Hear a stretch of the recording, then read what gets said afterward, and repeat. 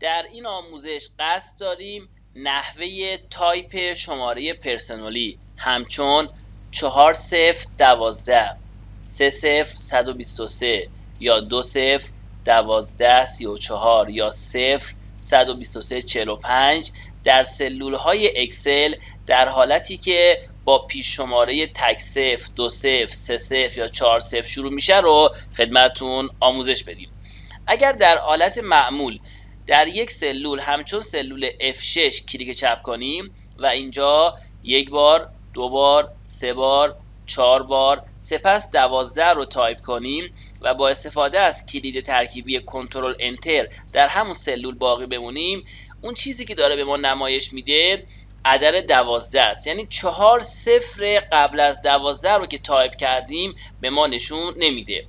برای انجام این کار می‌تونیم از دو روش استفاده کنیم.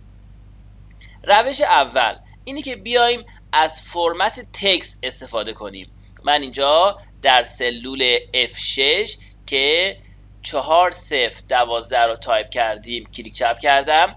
در سربرگ Home در گروه Number اینجا از این لیست بازشوی میایم تکس رو انتخاب می‌کنیم. اگر مجددا در این سلول چهار بار صفر رو تایپ کنیم و سپس دوازده رو تایپ و از کلید ترکیبی Control Enter استفاده کنیم می‌بینیم که برای ما صفرهای قبل از دوازده رو نشون میده. فقط تنها اتفاقی که میفته در این گوشه بالا سمت راست برامون یک نماد مثلث سبز رنگ رو نشون میده. با تغییر نوع فرمت از حالت نامبر به حالت تکس تونستیم این کار رو انجام بدیم. روش دوم برای انجام این کار اینه که بیایم یک فرمت عددی برای اون تعریف کنیم. در ادامه به روش دوم می‌پردازیم.